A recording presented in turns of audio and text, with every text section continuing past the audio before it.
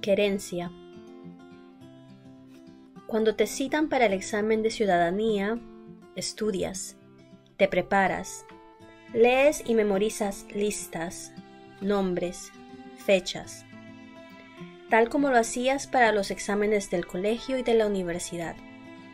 Con la diferencia de que ahora puedes encontrar flashcards con audio en YouTube y puedes escucharlas una y otra vez durante tu road trip de 10 horas entre Iowa City y Nashville. What is the economic system in the United States? La secuencia de silos y graneros ayuda a la concentración, hasta que te topas con un pequeño ejército de bebés de cartón que brotan desde los maizales. Hay algo siniestro en sus sonrisas y casi los puedes escuchar cantando el eslogan Choose Life al estilo del One, Two, Freddy's coming for you. Pero no te quejas, porque eso es parte del acuerdo de vivir acá. Y así te lo recuerda la pregunta 10 del cuestionario. What is freedom of religion? Pasas el arco de San Luis y ya has memorizado los tres estados originales. Poco a poco vas dejando atrás ese paisaje tan extraño, tan plano del medio oeste.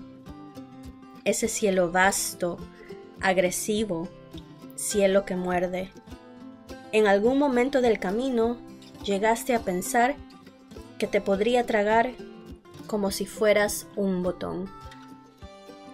Por eso, tu corazón casi da una media luna cuando el GPS te da la bienvenida a Tennessee. Mientras tanto, ya puedes recitar todos los estados que comparten frontera con Canadá. Para cuando el edificio de ATT se asoma desde el skyline en Nashville, dominas por fin la pregunta que más costaba. The House of Representatives has How many voting members? El video que sigue te recuerda que también te van a hacer otro tipo de preguntas. No de cívica o geografía o historia, sino de tu vida personal. Para esas también tienes que prepararte, porque hay algunas cosas que ni a ti te acaban de quedar claras. Por ejemplo, Where do you currently live? La respuesta a esa pregunta sí que tienes que practicarla, porque no quieres que se enciendan las alarmas en un edificio federal de Nashville cuando tengas que explicar tu situación. Tu esposo vive en Tennessee y tú vives en Iowa. ¿Cómo es eso de que vives en Tennessee pero estás aquí en Iowa?